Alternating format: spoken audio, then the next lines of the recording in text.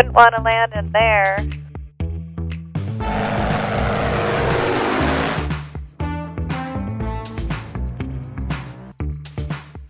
In our last video, Floods, Thermals, and Fun, we checked out the rare flooding on the Gila River in the Arizona desert.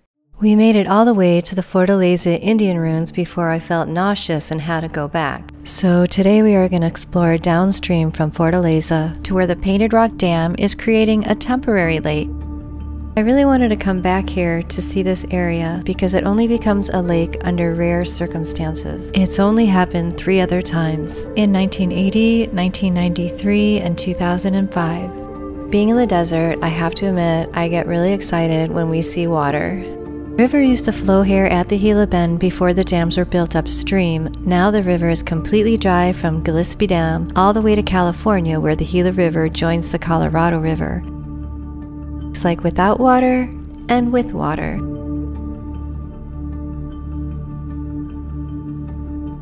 Eighteen years ago, in 2005, heavy runoff filled the reservoir to record levels, making the lake to be the second largest by area in the state of Arizona after Roosevelt Lake.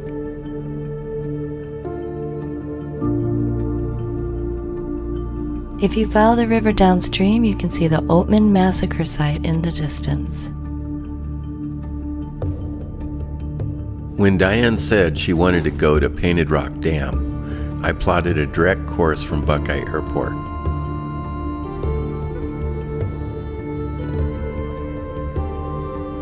This course allowed us to fly over Woolsey Peak, named after King Woolsey. King Woolsey is a famous pioneer in this area.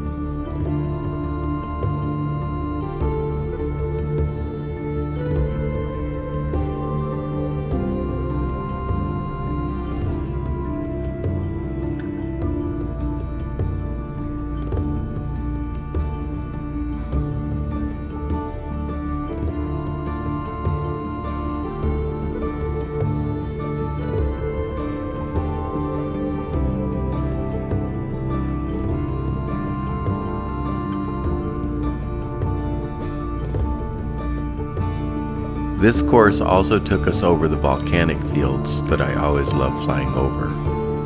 I climbed up to 5,000 feet, which gave us a great overall view of the area.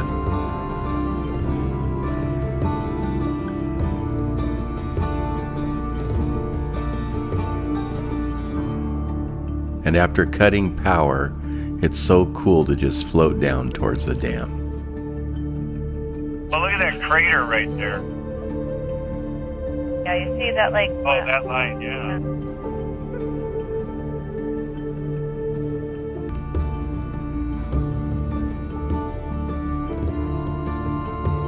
I'm gonna go look at this white thing that you want to. For a helipad, maybe? Wow. Might be for a helicopter. Say H on it, or oh, it's a water thing. It sheds the water, and the tank is below it. Boy, that's quite a build. What is that flat rectangle though? I think that's what catches the water. Oh, It like sheds- underneath there's Yeah, a- it- well, it sheds it, it grabs that much water, sheds it down to a little pipe. Pipe goes down below, fills it by gravity, fills that big tank up. The Painted Rock Dam was completed in 1960 to protect small farming communities further downstream. The dam is named after the nearby Painted Rock petroglyph site, which has over 800 images carved into the rocks, believed to be from the Hohokam Indians who once lived and farmed in the area.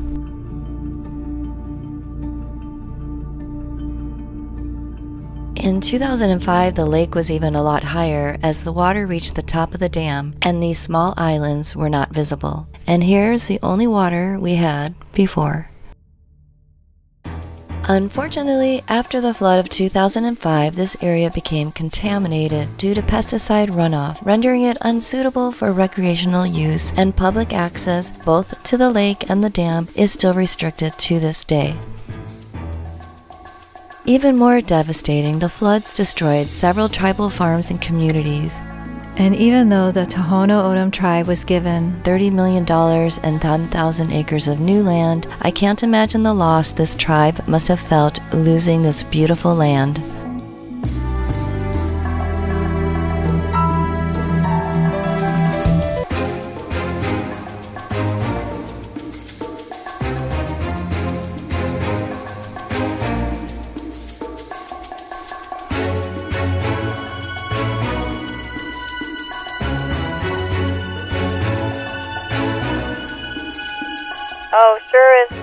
Down there. That is gross. I wouldn't want to land in there. It wouldn't be a land, it would be a crash. Can you imagine if we landed in there? That'd be a terrible way to go. It'd be cold water, dirty, filthy. I should be a little higher. Know, and climb up a little bit. At least if I die, I go on the other side of the dam.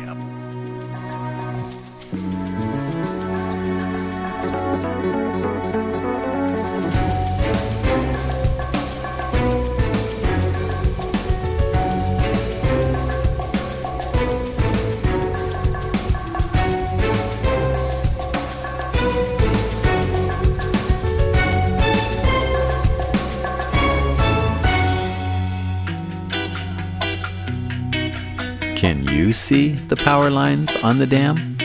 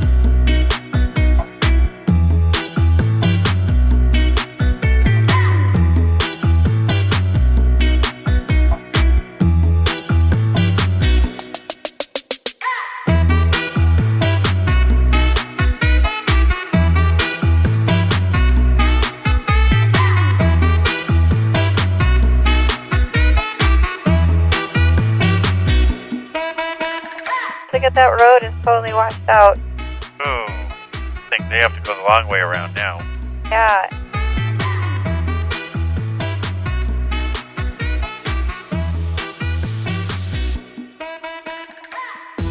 And there, that other road is washed out too.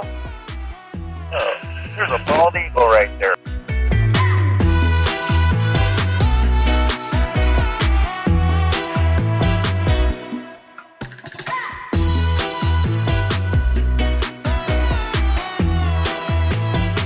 Between these two mountains. Power lines right there.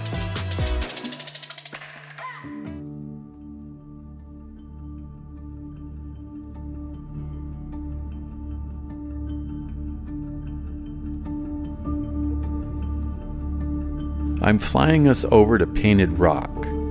Painted Rock is about 5 miles and is bearing 176 degrees magnetic from the dam. Flying low has its dangers. Don't do it if you don't know where the power lines are. I always ask my passenger to be my second set of eyes. Expect power lines where you don't expect them. They will be higher than you would expect and also in very remote areas far away from civilizations. Don't expect to see the power line. Look for the power poles. The power poles can be way farther apart than you would also imagine. The power line may be directly ahead of you and in your path, but if you don't look left and right and look for the power pole, Power line. you'll fly right into the power line. Here is a prime example of the dangers of power lines. Notice the farmer's dirt runway ahead. What are extremely difficult to see are the power lines directly in our approach path. There are no orange balls marking the power lines, and the power poles are set back a long distance.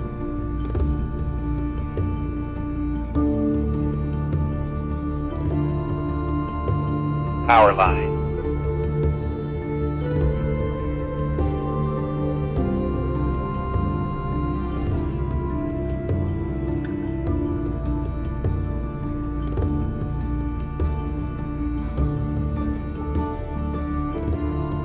It right there. Painted rock is really not painted at all.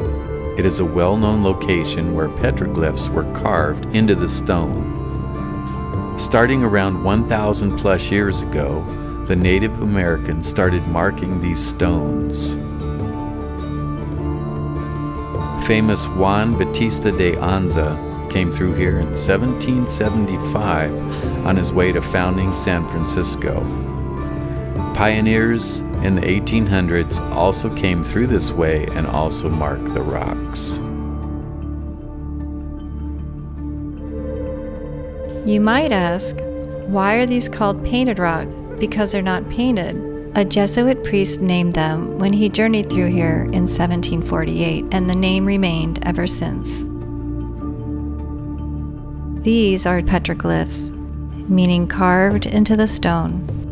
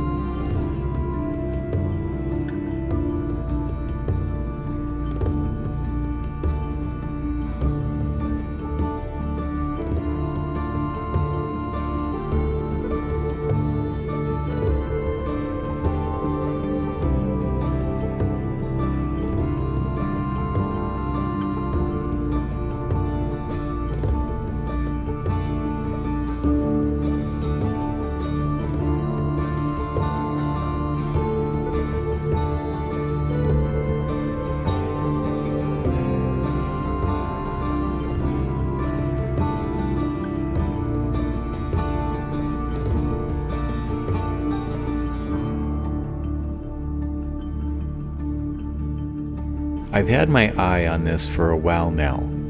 I'm beginning to suspect the Hohokam Indians dug this for a canal system. It's right at the base of Fortaleza.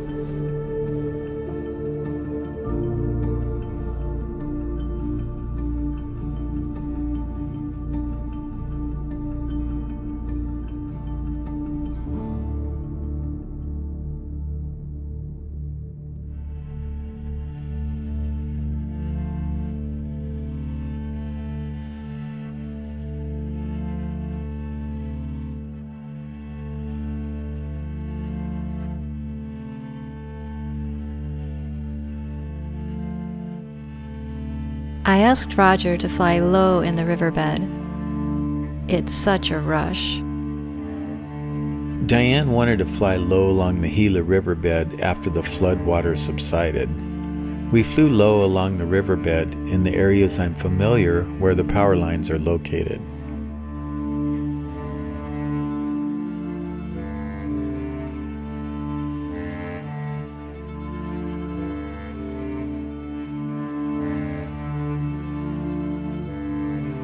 I can't overemphasize to expect power lines where you don't expect them. I'm speaking to myself here, reminding myself to always be aware of dangers of low flight. Remember if flying down a canyon, the power lines can be thousands of feet in the air. We came up to an area where I wasn't sure about, and so I flew up to scout it. Oh yeah, power lines over the wash right there. And the poles are really far apart. See the poles?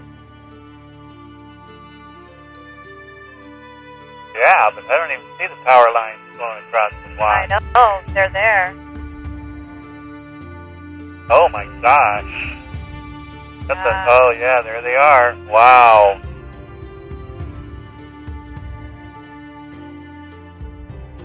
That's a prime example of dangerous, man. And Yeah. yeah, and the, how far apart they are. So there's one pole there, and one pole over there. That is a humongous span. That is a really long span. Wow, they should put balls on there. I know, they really should. Wow. For people like us. Right. Want to fly low.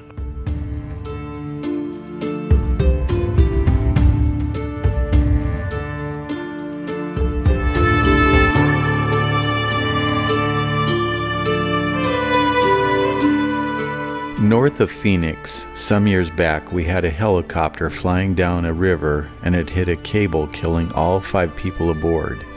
It was supposed to be a scenic flight.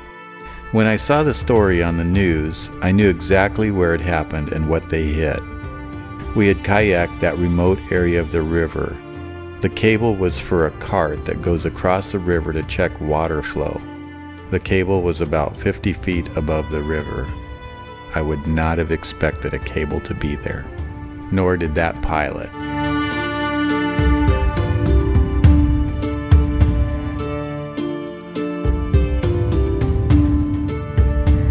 Flying is addictive, and flying low in an open aircraft where you can see the ground right below you accentuates the feeling of this incredible experience.